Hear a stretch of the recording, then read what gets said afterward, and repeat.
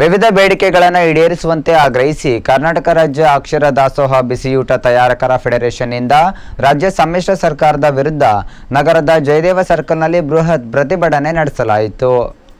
ನಗರದ ಜಯದೇವ ಸರ್ಕಲ್ನಲ್ಲಿ ಕರ್ನಾಟಕ ರಾಜ್ಯ ಅಕ್ಷರ ದಾಸೋಹ ಬಿಸಿಯೂಟ ತಯಾರಕರ ಫೆಡರೇಷನ್ ವತಿಯಿಂದ ಹಾಗೂ ನೂರಾರು ಬಿಸಿಯೂಟ ಕಾರ್ಯಕರ್ತೆಯರು ವಿವಿಧ ಬೇಡಿಕೆಗಳನ್ನು ಈಡೇರಿಸುವಂತೆ ಒತ್ತಾಯಿಸಿ ಪ್ರತಿಭಟಿಸಲಾಯಿತು.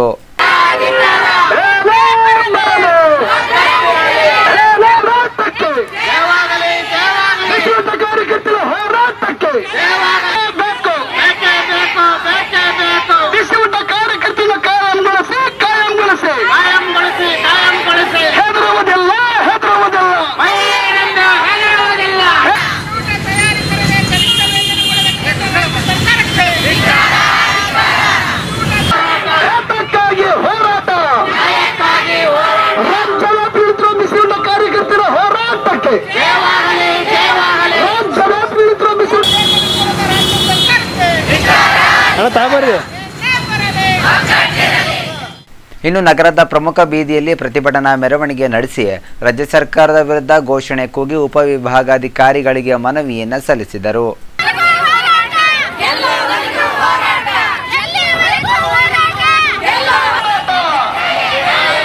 ಬಿಸಿಯೂಟ ಕಾರ್ಯಕರ್ತರ ಕಾಯಂಗೊಳಿಸಿ ಕಾಯಂಗೊಳಿಸಿ ಬಿಸಿಯೂಟ ಕಾರ್ಯಕರ್ತರ ಬೀಳಿಸುವ ಕೇಂದ್ರ ಮತ್ತು ರಾಜ್ಯ ಸರ್ಕಾರಗಳಿಗೆ ಹೆಚ್ಚಿಕಾರ ಬಿಸಿಯೂಟ ಕಾರ್ಯಕರ್ತರನ್ನು ಬೀಳಿಸುವ ಕೇಂದ್ರ ಮತ್ತು ರಾಜ್ಯ ಸರ್ಕಾರಗಳಿಗೆ ಹೇಳಿದಿಕ್ಕಾರ ಬೇಕು ಬೇಕು ಬೇಕು ಬೇಕು ಕಾರ್ಯಕರ್ತರ ಹೋರಾಟಕ್ಕೆ ನಮಗೆ ಗೌರವ ಧನವು ಗೌರವ ಧನವು ಮಾಡಬೇಕು ಏ ತುಳಸಿ ಏನೇ ಬರಲಿ ಏನೇ ಬರಲಿ ದುಡಿಯುವ ಮಹಿಳೆಯರ ಹೋರಾಟಕ್ಕೆ ಎರಡು ಲಕ್ಷ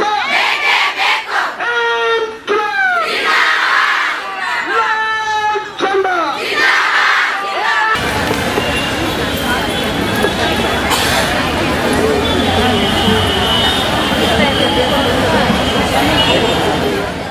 ಈ ವೇಳೆ ಸಂಘಟನೆಯ ಆವರ್ಗೆರೆ ಚಂದ್ರು ಮಾತನಾಡಿ, ರಾಜಕಾರಣಿಗಳು ಮಹಿಳೆಯರ ಪರ ಉದ್ದವಾದ ಭಾಷಣವನ್ನ ಮಾಡುತ್ತಾರೆ.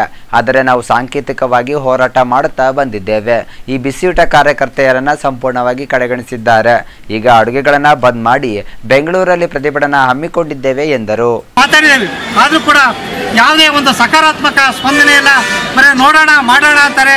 ಮತ್ತೆ ಮಹಿಳೆಯರ ಪರವಾಗಿ ಉದ್ದುದ್ದ ಭಾಷಣಗಳನ್ನು ಈ ಮಂತ್ರಿಗಳು ಬಿಗಿತಾರೆ. ಅದರಿಂದ ಕೂಡಲೇ ನಾವೇನು ನಾವು ಬಹಳ ತೀವ್ರತರವಾದ ನಾವು ಇದುವರೆಗೂ ಕೂಡ ಸಾಂಕೇತಿಕ ಹೋರಾಟಗಳನ್ನು ಮಾಡ್ತಾ ಬಂದಿದ್ದೇವೆ. ಈ ರಾಜ್ಯದಲ್ಲಿ ಏನು ಒಂದು ಲಕ್ಷದ ಹದಿನೆಂಟು ಸಾವಿರ ಜನ ಮಹಿಳೆಯರು ಈ ಯೋಜನೆ ಅಡಿಯಲ್ಲಿ ದುಡಿತಾ ಇದ್ದಾರೆ, ಬಿಸಿಯೂಟ ತಯಾರಕರಾಗಿ. ನಮ್ಮನ್ನು ಸಂಪೂರ್ಣವಾಗಿ ಕಡೆಗಣಿಸಿದರೆ ಇಡೀ ಒಂದು ಲಕ್ಷದ ಹದಿನೆಂಟು ಸಾವಿರ ಜನ ಬೆಂಗಳೂರಿಗೆ ಹೋಗಿ ನಮಗೆ ವೇತನವನ್ನು, ಕನಿಷ್ಠ ವೇತನ ಜಾರಿ ಆಗೋವರೆಗೂ ಕೂಡ ನಾವು ಇಲ್ಲಿಂದ ಕದಲೋದಿಲ್ಲ ಅಂತಕ್ಕಂಥ ಒಂದು ಹೇಳಿಕೆಯನ್ನು ಕೊಟ್ಟು ನಾವು ಬೆಂಗಳೂರಿಗೆ.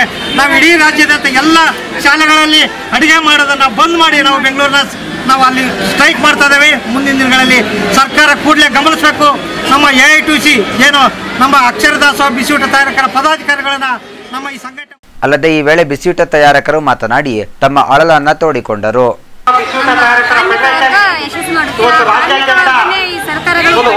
ಮಾಡಬೇಕು.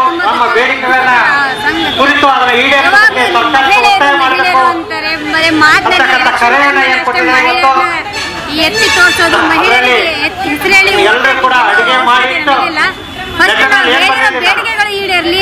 ಅಡಿಗೆ ಅವ್ರ ಬಾಯಿ ಮಾತಲ್ಲಿ ಹೇಳೋ ಬದಲು ಮಾಡಿ ತೋರಿಸ್ಲಿ. ಆಶ್ವಾಸನೆಗಳು ನಮ್ಮ ಬೇಡಿಕೆಗಳು ಈಡೇರಿಸಿ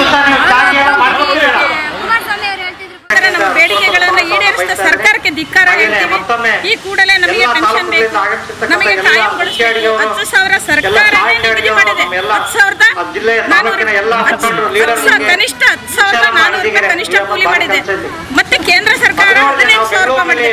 ಕನಿಷ್ಠ ಕೂಲಿ ಕೇಳ್ತಾ ಇದೀವಿ ನಾವೇನು ಅವ್ರದ್ದು ಏನು ಕೇಳ್ತಾ ಇಲ್ಲ. ಮಾಡ್ತಾ